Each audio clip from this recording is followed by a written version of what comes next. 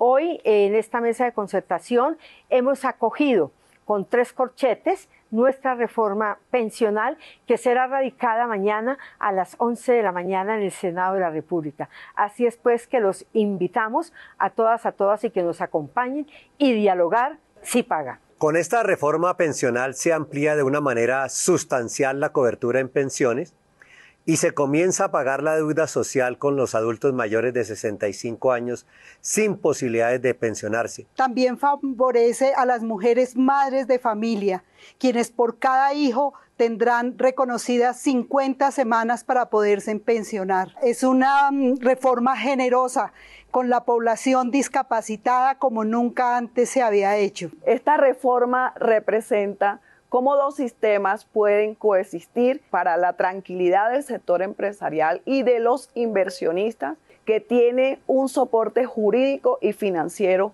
muy fuerte. Donde hay unos alcances sociales para todas las personas que no tenían la posibilidad de pensionarse, de madres, cabeza de familia, colombianos del común, campesinos y sobre todo resaltamos que va a quedar dentro del marco de esta reforma la seguridad jurídica de las pensiones.